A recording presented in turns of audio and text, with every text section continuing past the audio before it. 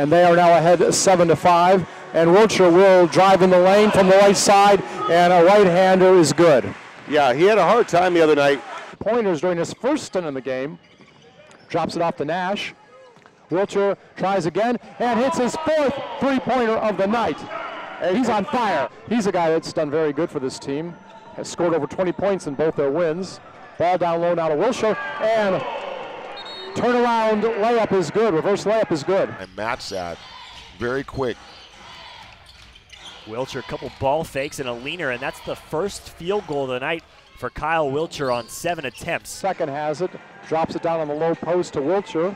Wiltjer being guarded by Nader, and he jumps it over the Nader.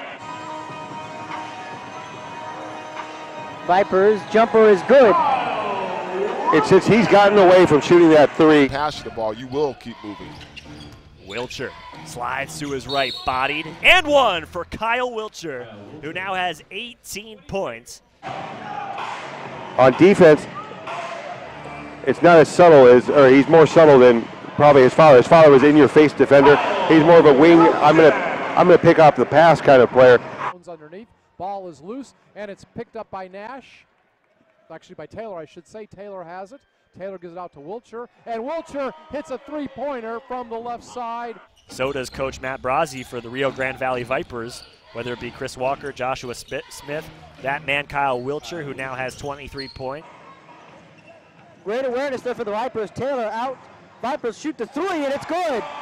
And Kyle's been waiting for that one. He's taken a number of shots right now.